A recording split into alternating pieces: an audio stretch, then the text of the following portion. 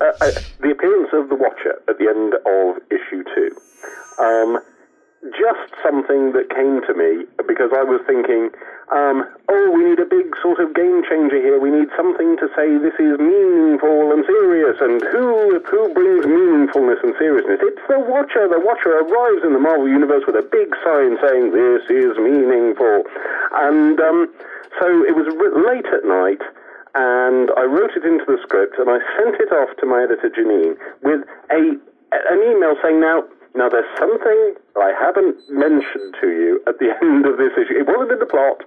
Um, I just think it needs something a bit like this, in this shape, and, um, and oh, oh, it's the Watcher. She replied. Oh, that's uh, that's that's that's. Uh, and we we had a, a we we talked about it. We had a back and forth about it, and this is the lovely thing of many lovely things about Jeanine that she. Um, uh, you know, uh, finally kind of went, yes, the Watcher, that does something for us, and then came up with good places to, to you know, grow that and keep it going.